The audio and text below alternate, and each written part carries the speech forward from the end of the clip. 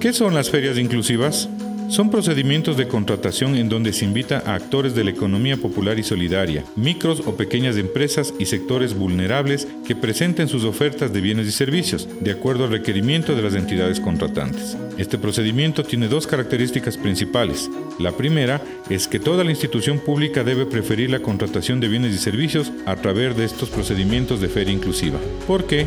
El objeto de la feria inclusiva es incluir a los sectores que normalmente han sido más golpeados de la población y así generar oportunidades de ingreso para estos procedimientos de contratación. Tenemos al mismo CERCOP y el Instituto de Economía Popular y Solidaria que asesorará tanto a los proveedores como a las instituciones en el proceso de contratación en sí mismo. Adicional a esto y continuando con estos procedimientos especiales, vamos con lo que son bienes inmuebles. El Estado para cumplir sus objetivos puede requerir bienes inmuebles y tiene dos alternativas, arrendarlo o adquirirlo.